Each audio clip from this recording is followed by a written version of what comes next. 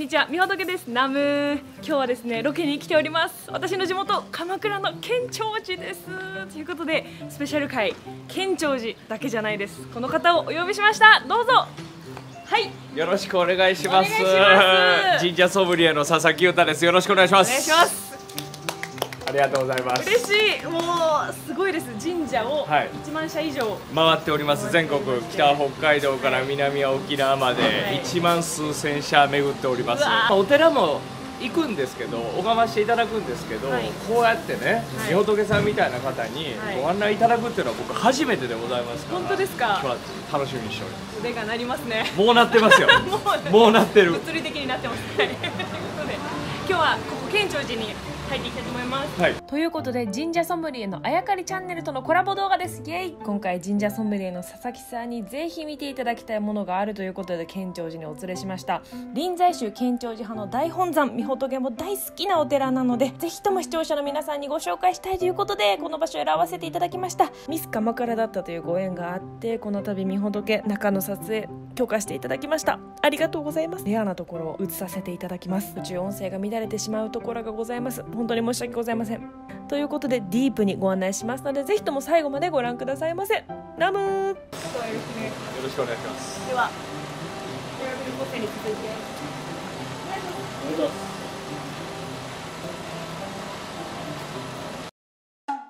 三門の前に来ました。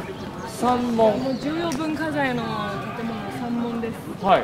をくぐることで自分のまあ煩悩だったりを一旦浄化して中に入っていきましょうということで。いよいよここでここで。気持ち整えてくださいよという、始まりますよというところですね。そうですか、はい。でまあ県庁寺というものの説明してなかったですね私。そうですね。県庁寺さんが一体なんていうお寺なのか。どういうお寺なのか。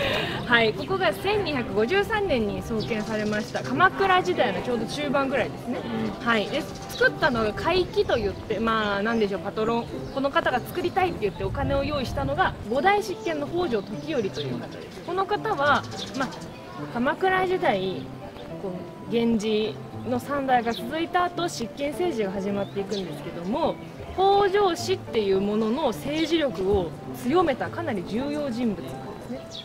その方がこう鎌倉の政治のもうさらに盛り上げて作っていったっていう方なので県庁寺もその方が作っていますし鎌倉大仏ってご存知ですかね。有名なやつですよね、あれも北条時頼が作ったと言われてるんですよ。っていうぐらへい、まあ、その鎌倉っていうのがすごく盛り上がった時にできたのがこの県庁寺です。じゃあ鎌倉の中では結構ポジション的には重要な、そうお寺なんでじゃないです。すかめちゃくちゃ重要で鎌倉五山っていう、まあ、鎌倉にある禅宗系のお寺禅のお寺のトップ5、鎌倉五山っていうのがあるんですけどそれの第1位がここ県庁寺です。五山の1位ここなんですか？石ここです。鎌倉で一番こう禅のお寺として格が高いところとなっております。そうですか。すごいところに来ちゃいました今日は。創建当時は一つのお寺でいろんな宗派の勉強ができるのがほとんどだったんですけども日本の中でもかなり先進して県庁寺では臨済宗の一派を専門とする禅の専門道場として開かれましたそして今もなお臨済宗建長寺派の大本山として禅を学びたいいろんな人のために門が開かれています。それ聞いてからくぐるんとくぐってから聞くんとはもう全然違うから 先心してはいくぐってください。くぐります、はい、ということで、まあ、ここは鎌倉に伝わる歴史だったりとかもうその禅の大事なエッセンスっていうのがたっぷり詰まっているので、はい。ご案内していきます。わかりました。お願いします。お願いしそしてくぐりたいところなんですけれえども。こくぐらへんの？くぐらへんの？くぐりたいんですけど、うん。ちょっと一回あっちも見てほしいんですよ。あっちってはい。鐘ですか、鐘です。はいはい。鐘わかります？かあの鐘はうん。実は創建当時のものがそのまま残っている紋章なんですね。ということで国宝に認定されております。あれ国宝。普通にあるやん国宝。県庁寺って一度できた後いたびたび火災にあったりとか震災で崩れて当時の建物っていうのはなかなか残ってないんですけどもはいはい。この紋章だけは当時のものが残っていて北条時頼という名も書いております嘘。はい、でもう一つ大事なことをお伝えし忘れたんですけど実際にお寺を作ろうっていう中身を作ったのが蘭渓道流というお坊さんなんですね。海山というんですけども中身を作るお坊さん。初めて勉強になった。じゃあ、はい。回帰と改ざんって違うってことですね。そうなんですよ。回帰と改ざんって2つあってうん。お寺を作るにはこの回帰と改ざんがいないとお寺ができないんですけど、でここのお寺の回帰は？はい、回帰は北条時頼という、はい、執権ですね。もう政治を一番握った方。北条さん。北条家です。だからお寺の至る所にあの三つ鱗のマークが入ってるんですか？そう。それで？そう。そうなんです。それでか。なんでここにあの鱗のマーク入ってんのかなと思ってたんですよ。回帰と改ざん。はい。勉強になりました。ということでその回帰と改ざんの名前がちゃんと彫られているのがこの梵鐘なんですねこれがあるからこのお寺のこの歴史っていうのが確かなものになっているっていう大事な鐘です。こん。な風にお寺見たことなかった。意外と歴史がね。ラブ まあ、ここ一つあとねスイーツをちょっと。急に出てきたな。はい梵鐘サブレです。えこれ 梵鐘サブレです。くれるんですか？あげます。優しい。これあのめっちゃ美味しいです。盆栽サブレの盆栽はもしかしてはいこれですか？これです。皆様ぜひ食べてみてください。俺何かの片棒担がされてで 食べながらまた行きましょうか。食べなけ携帯またちょっとゆっくりね。ダメか。まだ、うんはい。ちょっとまたじゃあもらいます。あぼうせうせやん。しまいます、はい、後でちゃんとくださいよ。あわかりました。はい、はい。あげます。適当やななんか。これすごいでしょこの木。そう木やだってこう普通に張ってるけど、めちゃめちゃ太いから。そうなんです。の750年前、ちょうどこのお寺を建てた蘭渓道隆さんが自ら植えた木と言われてまして白神という木です。白神。自分で植えたと言われてるんでね。ナム。ナム。すごいですよ。もう生命力もりもりですよね。これなんかあれですね。ナムってもう何でも言いたなりますねやっぱねお寺さんこの香りがいい。いいですよね。なかなかちょっと映像では伝わりにくいですけどこれ僕神社1万数千社巡ってますけどあんまり神社でこのお線香の香りっていうのはなかなか嗅がないんで確かに。落ち着きますねやっぱり。ね。もうお線香もこの線香の煙が気持ち乗って仏様に届くという。そういうことなんですか？はい。仏様へのお供え物ですからこれも煙おに匂いをお供えしているっていうですね。アロマだと思ってました違いますね。自分のためじゃないです自分のためじゃないですね。そうですか。ではさあ入っていきます。こちら仏殿という建物の重要文化財となっております。仏殿はい。仏様のね殿ですね。はい。仏殿まず建物が文化財になってるこちらにいらっしゃいます。境内全部が史跡ですから入り行きましょう。お願いします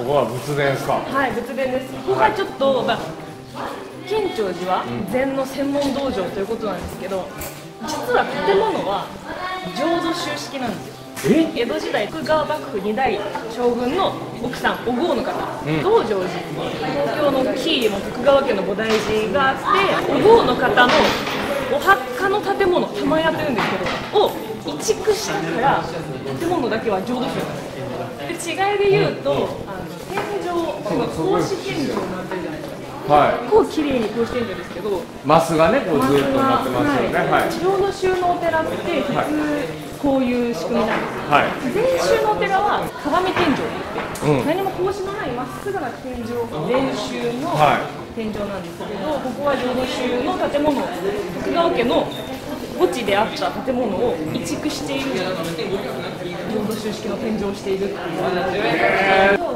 特別にですね中入れさせていただけるということでちょっと一歩入って拝ませていただきたいと思います、いいいんですか？今日許可いただきました。さすが。ことれうございます。み仏さんやからですよね。そうですね。す特別にいただきましてナム。ありがとうございます。じゃあちょっと入っていきましょう、とここで仏殿の裏側はまた別の動画で特別公開編ということで公開しますのでそちらの動画をお楽しみに引き続き県庁寺の境内を巡るツアーをお楽しみください。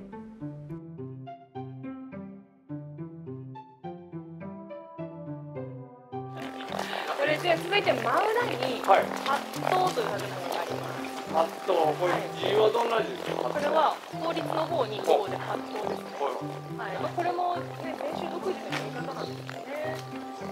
真裏にあるっていうのも、伽藍配置お寺の置き方を伽藍配置っていうんですけどフォーメーションこの真直線に並ぶっていうのも中国そのままのお寺にあった方式を日本に持ってきてるっていうねやっぱ臨済宗ってとっても中国式なものなんですよ知らんことばっかり。ということでハットに入っていきましょう。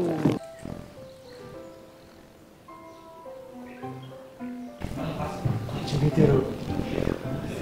これこそ流に行くと音感じますね。感じますね。ゴロゴロピカピカみたいな。来てますね。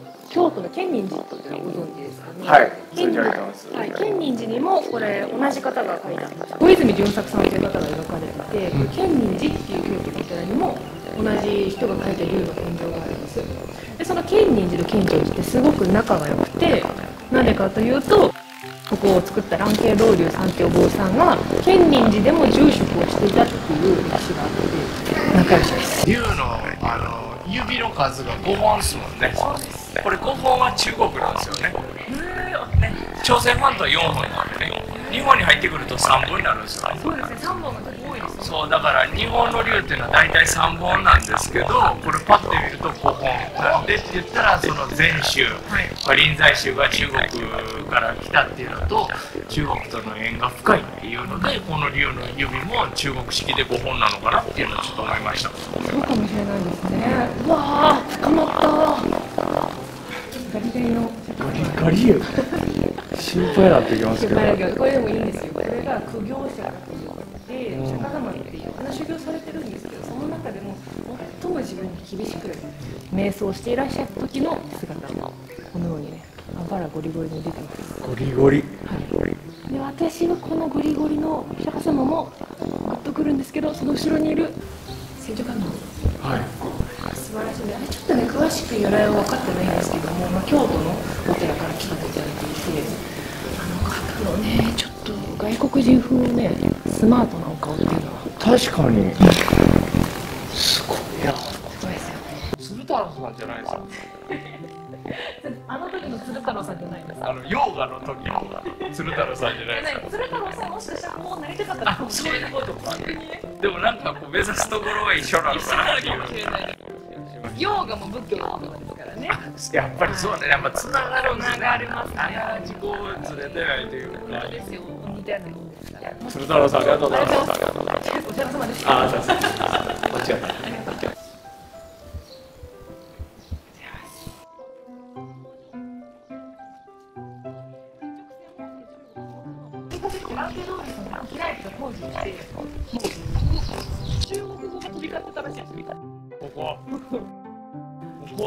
中国語や。ろ今でいうもう本当弱点とかヤフーでしたっけこういう語が英語の会社あるじゃないですかありますね。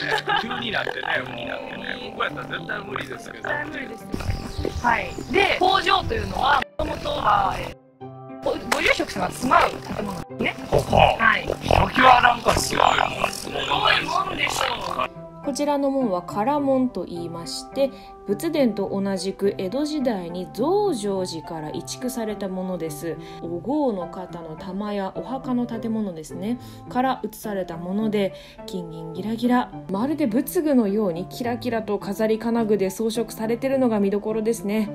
いちご結構多いですね。だからそれぐらいだから大事なものを移して。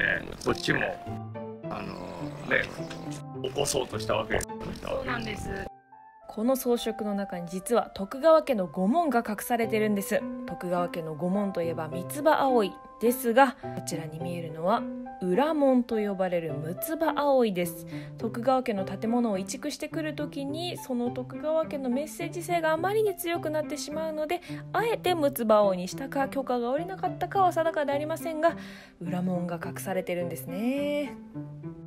禅宗としての格式の高さお魚厳しいところもありつつ浄土宗系の方々が守り伝えてるっていうのもねありがたいですありがたいですありがたいということで、みほとけがご案内する県庁寺ツアー前編はここまでです。途中音声が乱れてしまって本当に申し訳ございません。